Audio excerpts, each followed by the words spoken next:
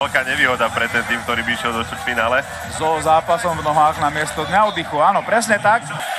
Nebel, Sova, našla Fischbucha, ten nezakončoval, teraz to môžu Nemci premeniť. Áno, e, ale tiež to dobre vymyslel nakoniec. Ale táto kľúčka ešte myslím, že na ňu mal čas. Trena, Federl. Nebel môže páliť horná žrtka. No dám po zápase by mali s Zaladarom, že dobre navrtal, že tam nenechal trošku tu. Neoslobodili, môže to lutovať, Facebook. Lížnou prihrávkou, Nebel z Michaelis. Veľmi jednoducho to vyzeralo. Vyzeralo, áno. Prevedenie Šikovné. samozrejme je Z odrazaného puku možnosť Kastnera. Ešte prihrával opačnej strany. El nedá. Si musel skontrolovať toto backendové nastrelenie puku a je koniec.